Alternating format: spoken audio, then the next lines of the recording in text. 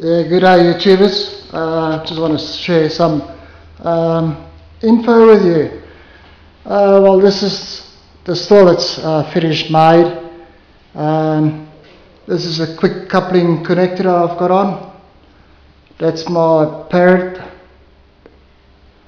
That's where the alcohol is going to come out down to the bottom and it's going to raise up into this tube. That's where I'm going to put in my alcohol meter and is uh, the alcohol is going to overflow into this little cup here and it's going to exit here into the bottle or whatever container you want to use. Now on this uh, condenser um, I've got a hose that's just connected up to it. Uh, then it's got a, a tap, uh, it's a needle valve tap to control the water flow of the inlet then further down I've got just a, a brass hose fitting which I made up out of um, a brass joiner and a barb thing which I uh, actually glued in with epoxy glue or JB weld. So the water comes in here, it goes through the condenser all the way. Then this outlet is on the top end of the condenser that draws up in this tube again. It draws up in this tube. And just bear with me. It goes into the reflux condenser which is the top part. It goes in there. Try and get a better view. And that's where the outlet is going to be. So it's going to go through the coil which is inside here. That's uh, screwed onto that part there just joined there.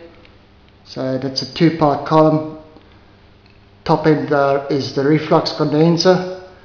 It's got some uh, stainless steel pot scrubbers or you can put copper copper mesh in there. This uh, bottom condenser it's got copper mesh in there and some copper saddles. Uh, the whole condenser is the whole column is filled with ceramics, about 3 kilograms of ceramics. Then right at the bottom where it's joined onto the pressure cooker's lid, uh, it's got a nut on the inside. That's got more copper mesh at the bottom so the saddles don't fall through. So that's how it looks like. It's the, the pressure cooker. Then I've got this um, condenser it's just uh, joined up onto this is the vapor in so that's a vapor pipe that's just coming out of the column. That goes right on top there. Right to the top. I'll get a better view of that. So that comes straight out right at the top end. It's also got another copper plate that's been welded on the inside just about one and a half inches below the actual outlet which is this one here. It prevents the vapors from going up straight into the tube and it acts like a actual like a, a, a baffle or plate so uh, condensation can't, can't go straight up into it. So that's where the vapors is going to come out runs all the way down in this copper tubing just down all the way to the bottom. Yeah, I've got another elbow. And then I just got to join it. It's from a three quarter inch. It just reduces three quarter inch to half inch. That's the inlet of the condenser where the vapors goes in.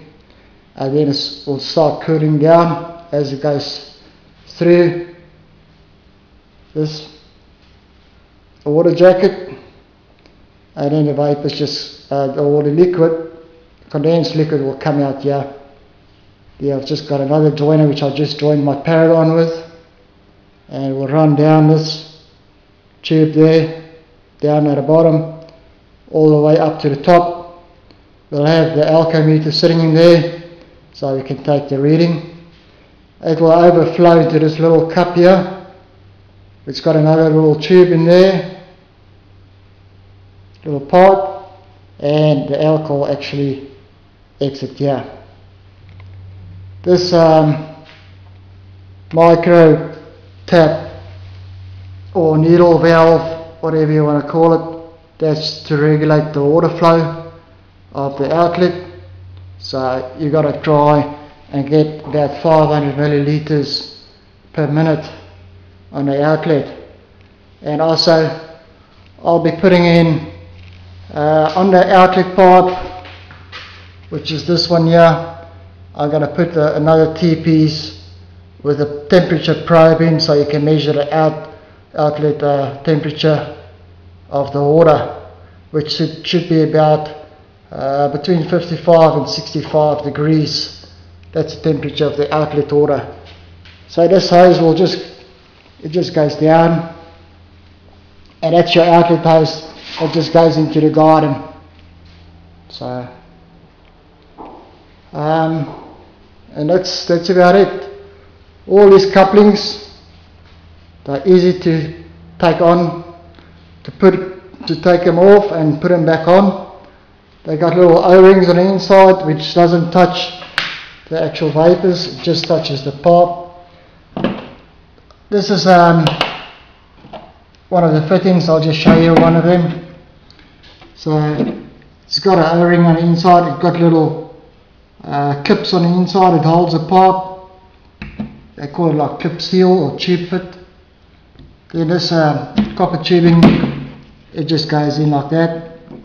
There's a little O-ring on the, on the inside of these. It seals it and the clips to hold it in place. So just bear with me. you've gotta push it in.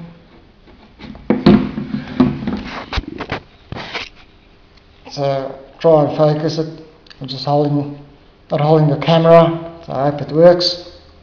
So, so there it's kept in and it can't pull out. And then I've got a special tool here. It just clips over the pipe like that. And it just slips. And you pull this part back, just like that. Pull it and you pull the hose out the, the copper tubing out and there it's all released.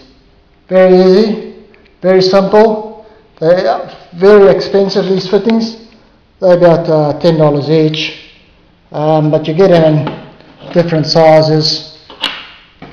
You get also this uh, different uh, this releasing things. You can get it from some plumbers or maybe uh, some auto shops. Um, then you get half inch straight. That's a half inch straight. That's a 20 millimeter. That's a half inch elbow. And then just a couple other elbows and and the reducers and uh, half inch 90 degree bends that I'm going to use to make other little things up later on so we can just it's easier to connect and disconnect and um, yeah that's that's how it's set up so that's how it looks like.